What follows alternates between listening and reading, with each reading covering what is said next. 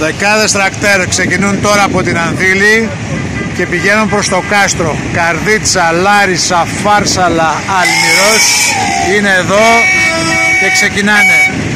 Έχουν συμπληρώσει περίπου 6 με 7 ώρες ταξιδιού, κουρασμένοι αλλά και αποφασισμένοι όπως οι ίδιοι λένε.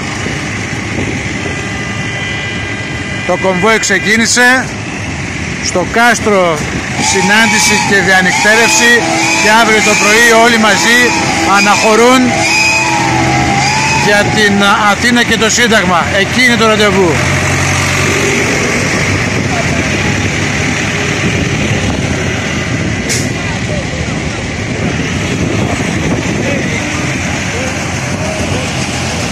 Θα τους ακολουθήσουμε μέχρι και το Κάστρο και αύριο μέχρι και την Αθήνα. Δεκάδες τρακτέρ. Είναι πολύ εντυπωσιακή η εικόνα. Θα είναι πρωτόγνωρο για την Αθήνα. Τόσα τρακτέρ δεν θα έχουν ξαναμπεί ποτέ στην πρωτεύουσα.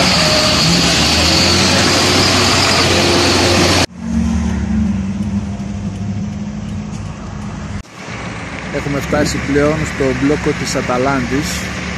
Τα τρακτέρ συνεχίζουν την πορεία. Περνάνε κάτω από την αερογέφυρα που πάνω υπάρχουν τα τρακτέρ της Αταλάντης αλλά και πάνω στην Εθνική και συνεχίζουμε για κάστρο.